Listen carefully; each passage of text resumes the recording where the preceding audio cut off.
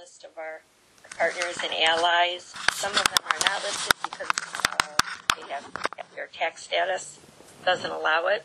But um, most of the climate organizations, both the more established ones as well as the newer youth climate oriented ones, are coming together for Earth Day, which starts on uh, the 22nd of April in two weeks and goes three days. Pretty much everybody is doing Wednesday, Thursday, and Friday under the banner of Strike With Us and Future Coalition. I know that many of uh, several of our partners um, were partners with that organization, but um, other uh, climate organizations that we work with are partners as well, like Zero Hour and the Climate Mobilization and um, uh, Extinction Rebellion, etc. So this is a really good opportunity for everyone to go online, and um, it was obviously going to be um, held in several cities, which um, uh, we can't do because of COVID, but everything is going online for three days, and it's uh, going to be uh, speakers, celebrities, politicians, musicians, activists, scientists, youth leaders on the front lines of climate justice. Um, just briefly, I'll give you a rundown of the schedule. April 22nd, which is Wednesday, is Strike Day. It's a chance to hear from people of color, indigenous leaders, and frontline activists who are fighting for climate action and confronting the fossil fuel industry. So that will be a huge day of activism. If you can only do one day, please do uh, Wednesday the 22nd. Um, it's going to be a day centered on storytelling and community, and uh, we are going to have a part, a role in speaking on that day. Um, April 23rd is Divest. It's a day led by Stop the Money Pipeline Coalition, which is focusing on ending financing of fossil fuels and building a new economic system that works for the people. Um, we will be talking about how we can cut up credit cards, go to public banking, go to credit unions, get the heck out of banks um, entirely. Um, April 24th is vote. We're not going to obviously participate in the Get Out the Vote drive, which is part of that. But there's another part of that, which is it's going to be it's the first day of Ramadan, so organizers will be working with the Muslim community to make sure events are accessible for those who are observing and use it as an opportunity to educate people on the holiday. So. Um, you can go to earthdaylive2020.org I'll repeat that, earthdaylive2020.org to get information on the activities. We actually have a call tomorrow. I don't have the schedule yet of um, some of the speakers, but um, we'll have more coming out on our social media. We're going to be sharing all this information on our Facebook page, on our Twitter. Um, and uh, Earth Day Live is our hashtag. So hashtag Earth Day Live.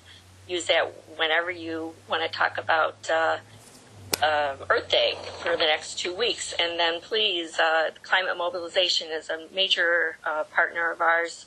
They're doing really important work in trying to get both Congress and municipalities to declare a climate emergency.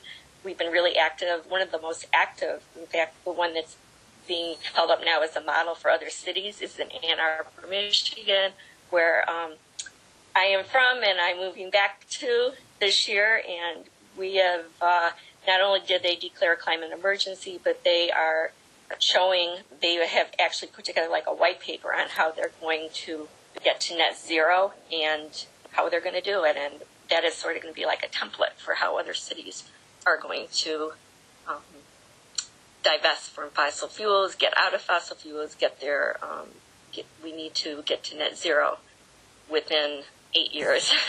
That's our goal. So um, I am very proud to announce that we have an organization here in California where I live right now, um, and it's called Return CA. Uh, John Simca, who is a member of MPP and has been very supportive, is ahead of that organization, and he um, got his organization, was spearheaded them their entry into MPP, and um, I'll just hand it over to him so he can just. Uh, uh, I think it's under John Pomeroy. Yeah, I see you. I see you raising your hand, Johnny. okay, so there I am. Let me. Perfect. Yeah, I got okay, you. Okay, thanks, John.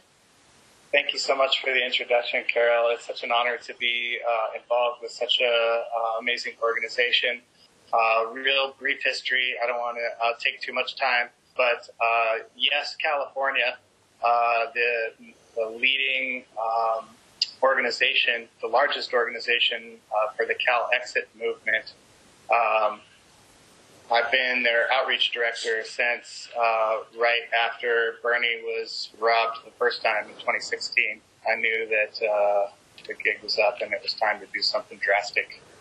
Uh, so I put my finger on the pulse. I've been involved in California activism uh, since birth, really, and uh, I'm ready to uh, to do something drastic. So joined Yes California um, shortly after I was made their outreach director uh, I started reaching out to every organization imaginable on all sides of the aisle, um, left, right, center, you name it, anarchists, anybody that would talk to me. And what I found was that a large number of people were disappointed that the indigenous voice was missing from the independence movement. And uh, during the time when California was independent post the Mexican Revolution and independence from Mexico, uh, and prior to being absorbed against our will into the United States, uh, California was independent, and the return of federal lands to the tribes of California was uh, inextricably connected. So uh, I started speaking with as many indigenous people as I could, and Return California was born from that effort. Uh, we had our first listening session in Grass Valley last year, uh, very successful. You can see video um, of that meeting on our website, returncalifornia.org. And we're proud to be uh, supporting Movement for a People's Party and Burn the DNC. Um, one thing to check in on regarding uh, the current situation we're in, uh, you may have noticed Gavin Newsom uh, calling California a nation state repeatedly. He said it in an article uh, on Huffington Post. He said it on uh, MSNBC with Rachel Maddow, and he just said it again in a Bloomberg article. And it's pretty um, significant to what we've been working on with California independence.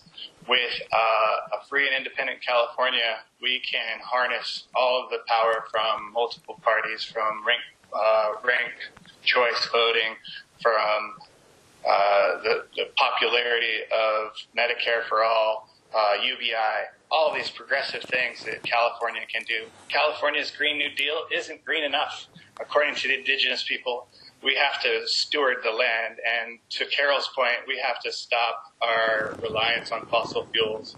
While everyone's congratulating Gavin Newsom, he's issuing uh, fracking permits. But this is unacceptable, and we have to uh, hold his feet to the fire. We have to congratulate him when he does something right, and we have to hold him accountable when he does something wrong. And uh, just really quickly, um, in June of 2019, uh, Gavin Newsom issued an apology to Native Americans for state's historical wrongdoings and established the Truth and Healing Council. He then, in December, reestablished the Commission of the Californias, which the three governors of California, Baja, and Alta all are together again and issued a memorandum of understanding between the government of the state of California of the United States and the government of the state of Baja and the government of Baja Sur. So these things are all indicating that uh, he's serious about um, our independence and what he's doing with COVID and everything else is really crazy. So, um, our mission at Return California is to amplify indigenous voices. Uh, it's really that simple. We'd like to see all the federal lands returned to the tribes, and uh, an independent California could govern jointly with uh, the indigenous nations of California. Thank you so much for letting me speak. Thank you, John. Carol, did you have anything else to add? Uh, no, no, just that it's, uh, I appreciate uh, their support. It's a really great activist organization, and um, I love what they're doing with the environment and climate too. It's really important. Most definitely. Thank you both for, for sharing and letting us know what's going on. I'm especially happy to hear something's going on uh, for Earth Day because I know here in the DC area we were looking